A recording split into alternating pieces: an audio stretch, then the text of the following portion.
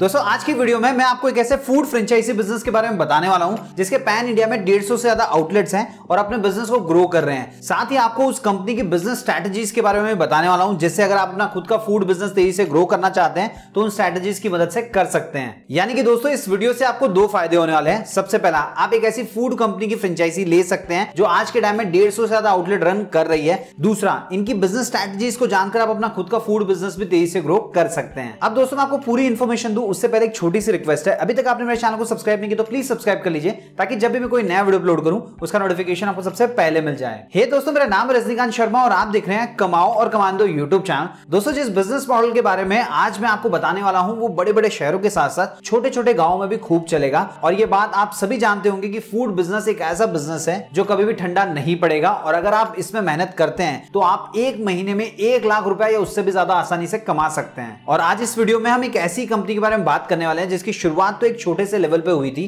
पर आज pan India level पे वो कंपनी ना सिर्फ़ लोगों को आउटलेट प्रोवाइड कर रही है बल्कि अपनी ज़बरदस्त बिज़नेस स्ट्रेटेजी से बाकी के फ़ूड बिज़नेस करने वाले लोगों को भी इंस्पायर कर रही है। दोस्तों, उस कंपनी का नाम है हटके वड़ा पाव जिसकी शुरुआत आज से लगभग आठ साल पहले सीए आदित्य मालपानी ने एक छोटे से स्टोर से की थी और आज के टाइम में इनके डेढ़ से ज़्यादा स्टोर है। सो दोस्तों कंपनी की ऐसी कौन सी बिज़नेस स्ट्रेटेजीज है जिससे आज ये एक स्टोर से शुरू होकर पैन इंडिया लेवल पर डेढ़ से ज़्यादा आउटलेट तक पहुँच गई है और आज लोग इनकी फ्रेंचाइजी लेना पसंद कर रहे हैं। और दोस्तों, अगर कोई इनकी फ्रेंचाइजी लेता है तो उसे क्या क्या बेनिफिट्स मिलेंगे? चलिए ये जान लेते हैं। सबसे पहला ब्रांड आइडेंटिफिकेशन अगर मैं आपसे पूछूँ के नाम सुनने के बाद में आपके दिमाग में क्या आता है तो आप में से ज़्यादातर लोगों का जवाब होगा चिकन विंग्स राइट वैसे ही अगर मैं मैकडोनल्ड या बर्गर किंग बोलूँ तो आपके दिमाग में उनके डिलीशियस बर्गर आएँगे। इसके अलावा अगर मैं कोलगेट या पेप्सोडेंट का नाम लूँगा तो आपके दिमाग में सबसे पहली चीज़ आएगी टूथपेस्ट राइट लेकिन क्या कभी आपने एक चीज़ नोटिस की है कि ये सभी ब्रांड्स अपने एक ही प्रोडक्ट की वजह से फ़ेमस है? अब ये ब्रांड भले ही एक ही चीज़ की वजह से जाने जाते हो, लेकिन इसका मतलब ये नहीं है कि ये सिर्फ़ वही चीज़ बेचते हैं। जैसे मैकडोनल्ड भले ही बर्गर के लिए जाना जाता है, पर आपको वहाँ पर Mac french fries milk shake coffee और भी बहुत सारी चीज़ें मिल जाएँगी।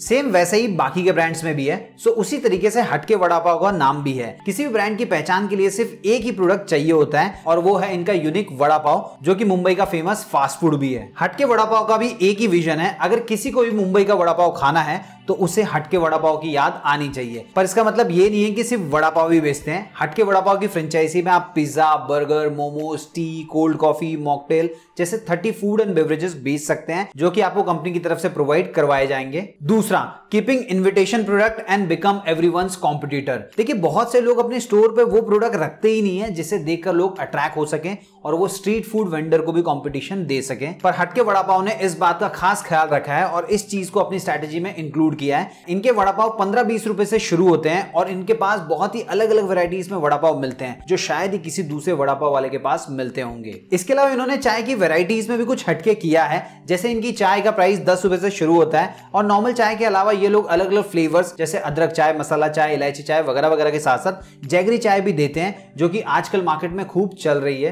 तीसरा पॉकेट फ्रेंडली रेट अब देखिए दोस्तों, हम सबको पता है कि इंडिया में लोगों को कम प्राइस में बेस्ट प्रोडक्ट चाहिए। ज़्यादातर इंडियंस मिडिल क्लास कैटेगरी से बिलोंग करते हैं और ट्राई करते हैं कि कम से कम प्राइस में अच्छी चीज़ मिल जाए। और इसी बात को ध्यान में रखते हुए हटके वड़ा पाव ने अपने मेन्यू को पॉकेट फ्रेंडली रखा है, जिसकी वजह से इनके स्टोर्स छोटे छोटे गाँव में भी खूब चलते हैं। चलिए दोस्तों, अब मैं आपको इनका मेन्यू भी दिखा देता हूँ। यहाँ पर आप देख सकते हैं कि अलग अलग वड़ा पाव सिर्फ़ पंद्रह रुपए से शुरू होते हैं और पिज्जा का स्टार्टिंग प्राइस है एक रुपए और बर्गर सिर्फ़ पैंतालीस रुपए से शुरू होता है। और मुझे जो सबसे बेस्ट लगा वो है इनका कॉम्बो जो कि सिर्फ़ एक रुपए का है। उसमें बर्गर फ्राइज और मॉकटेल का कॉम्बो मिलता है। और ये वजह भी हो सकती है, इतने कम टाइम में इनका बिज़नेस तेज़ी से ग्रो होने के पीछे। तो अगर कोई भी अपना फ़ूड बिज़नेस शुरू करता है तो उसे भी ये चीज़ ध्यान में रखनी चाहिए कि प्रोडक्ट टेस्टी और हाइजेनिक होने के साथ साथ उनका प्राइस भी पॉकेट फ्रेंडली होना चाहिए। चौथा नो शेफ और कुक डिपेंडेंसी देखिए, कोई भी फ़ूड कंपनी अलग अलग जगहों पे अपने स्टोर को तभी स्मूथली रन कर सकती है जब सब जगह का टेस्ट सेम हो, जिससे उनकी माउथ टू माउथ मार्केटिंग हो जाती है।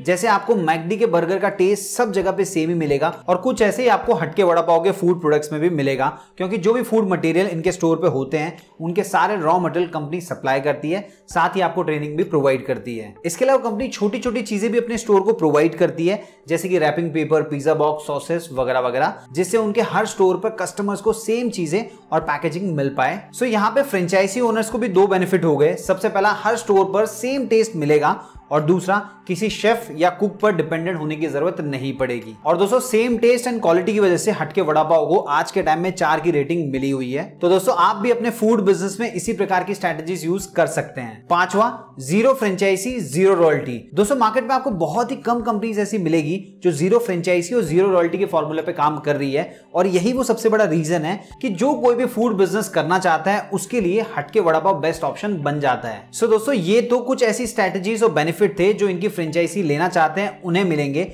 और जो लोग फ़ूड बिज़नेस करना चाहते हैं, वो इनसे सीख सकते हैं। अब जो लोग इनकी फ्रेंचाइजी लेना चाहते हैं, उनके दिमाग में ये सवाल ज़रूर आ रहा होगा कि अगर वो हटके वड़ा पाव की फ्रेंचाइजी लेते हैं तो उन्हें कितना प्रॉफिट मार्जिन मिलेगा? सो दोस्तों, यहाँ पे आपको अलग अलग प्रोडक्ट पे अलग अलग प्रॉफिट मार्जिन मिलता है, जो 40 परसेंट से लेकर 60 परसेंट के बीच में होता है। अब अगर बात करें इन्वेस्टमेंट की तो इसमें आपको दो लाख रुपए से लेकर तीन लाख रुपए का इन्वेस्टमेंट आएगा, जो कि आपके स्टोर सेटअप और प्रोडक्ट में लगने वाला है। कंपनी आपसे किसी प्रकार की कोई भी फ्रेंचाइजी या फिर रॉयल्टी फ़ीस चार्ज नहीं करने वाली। अब ये दो तीन लाख रुपए आपके कहाँ इन्वेस्ट होंगे, वो आप वीडियो को पॉज करके चार्ट में देख सकते हैं। और दोस्तों, रही बात रिक्वायरमेंट की तो आपको 200 से लेकर 250 स्क्वायर फुट की शॉप लेनी होगी जो कि एक ऐसे लोकेशन पे होनी चाहिए जहाँ पे पब्लिक का फुटफॉल ज़्यादा हो, जिससे आपको ज़्यादा से ज़्यादा कस्टमर्स मिल पाए। सो so दोस्तों, ये थी हटके वड़ा पाव फ्रेंचाइजी की सारी डिटेल्स इसके अलावा अगर आपको इनके पूरे ब्रेकअप के बारे में जानना है या कोई भी क्वेरी है तो आप कंपनी के एग्जीक्यूटिव से बात कर सकते हैं और कंपनी की टीम आपके सारे डाउट्स क्लियर कर देगी। और अगर आप इनकी फ्रेंचाइजी लेना चाहते हैं तो उसके लिए भी आपको गाइड कर दिया जाएगा। कॉन्टेक्ट नंबर मैंने आप लोग की सुविधा के लिए इसी वीडियो के डिस्क्रिप्शन में दे दिया है। वीडियो पसंद आया तो वीडियो को लाइक कीजिए। इस वीडियो को अपने सभी फ्रेंड्स फैमिली मेंबर और जान पहचानों के साथ शेयर कीजिए। साथ ही साथ में चैनल को सब्सक्राइब नहीं किया तो प्लीज़ सब्सक्राइब कर लीजिए,